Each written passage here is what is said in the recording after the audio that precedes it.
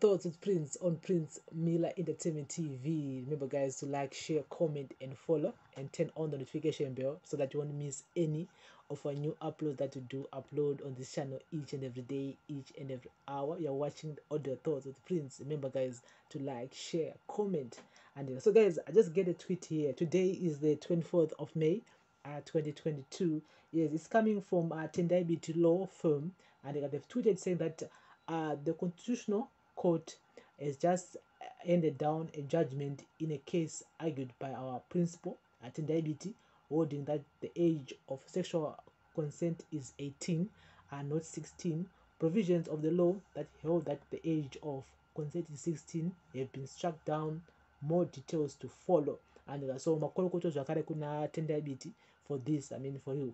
And uh, yes, the man um, challenged uh, nyaya yesexual consent and remember kuti at 16 zvakakunzi munhu at 16 musikana kana asvika pa16 anenge achiri teenager vazhinji e, vanenge vakutorara navo at 16 and but abiti vati aiwa hazviti kana ari 18 ndo paanenge ane right yekuita zvebonde. And so people social media have been commenting people of course have been uh, talking about this because this is uh, exciting news. But all know that um, we have some people and vanorara nevana vadiki ya varipo varume vanorara nevana vadiki varipo vakadzi vanorara nevana vadiki zvakare. It goes both ways. There are men who are, who are sleeping with younger women there are women who are sleeping with younger men. And uh, in some vanozozvivharavhara pakuite kuti anobva kuti amukadzi ndinotora e, opa vabereki vemwana mari ende vamwe havazvitaure zvinoitika um, um, mukuwanda wanda i mean there are so many circumstances anoitika uh, in our society. And ende vazhinji vari kuchitokisi vari kuchikurubhiro vakavharirwa nenyaya yekurara nemaunder age and so someone is saying that uh, thanks honorable tindaibiti you have saved the young. And uh, someone is saying that uh, moudza mapostori ndo vano ndo vano uh, vana kumakirawa uko. And uh, someone saying that it's it's uh, definitely uh, the right way to go. Many people have been taking advantage of young girls because of the law, but now they will be exposed. This is good for protecting the girl child. And yeah, not fair for those who were being abused at 16 or alone. And uh, someone saying that uh, this is exciting news indeed. Great news. Thanks, BT, for protecting our kids from these sharks. And uh, um, Someone said that uh, does this victory apply to the Taguta Apostle clan too? If so, then there is need to stop roads upgrade and build new prisons urgently. And uh, someone said that uh, thanks PT for protecting uh, young children. It deserves to be breaking news. And uh, uh, someone else said that uh, thank you Tendai BT. ZNPF goons wanted to abuse kids. Hallelujah to this news. Young girls have been taken advantage of these madalas handika inyaya yevana handika age of um, consent yanow 18 haisisiri 16 handika ndonyaya yatiri kutaura nezvayo here on audio thoughts with prince on prince miller entertainment tv pfungwa dzenyu munodziona sei vatendai biti vakachallenja vakati aiwa 16 mwana anenge achiri mudiki. And for you at 16 most of us ka um, we don't know kuti zviri kufamba sei.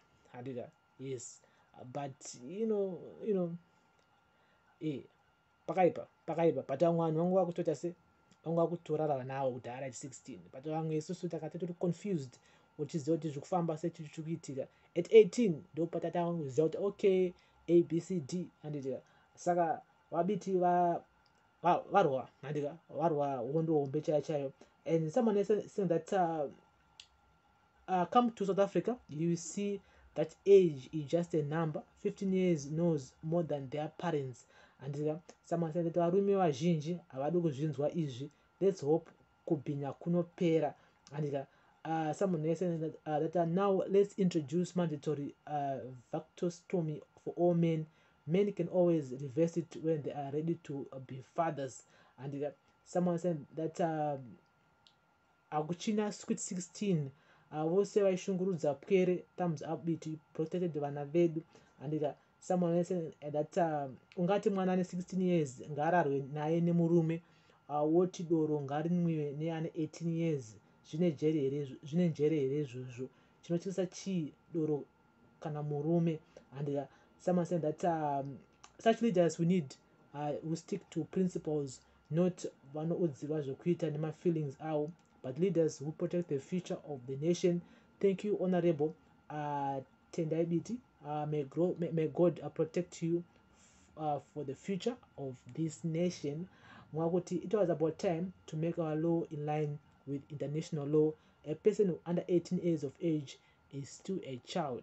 And uh, yes under, under, under 18 you're still a child. And uh, so tongoti uh, thank you very much to tendai and, uh, and uh, whoever was involved in this battle and uh, yes in the constitutional court regarding to the consent of sex and uh, yes it was 16 but now it's now 18 and uh, so ngatitore and uh, someone is saying that uh, mutemo uyu uh, endai munoudza vekwamarange uh, zviye zvekuenda kukampena kwamarange muchivabvumira kurara nema14 year olds.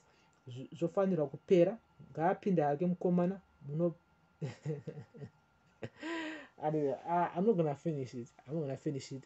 Anyway, so people are talking about um Mapo story who are known and who are known of uh, of child marriages and uh, yes there's still some sectors who are still practicing that zvakaipa kuti mwana uh, achangobuda tumazamu mbichana anenge akutopiwa murume and its 2022 and this is still happening and ushauzoti zviri kufamba sei zvakamira sei some of these guys they're they're, they're, they're uh, connected with politicians in a way that vamwe uh, vacho havatombosungwe and nyaya hapana kwainotomboenda angosanga kuripota nyaya but hapana kwainoenda because uh, vanozivana uh, nevanhu vakuru munharaunda.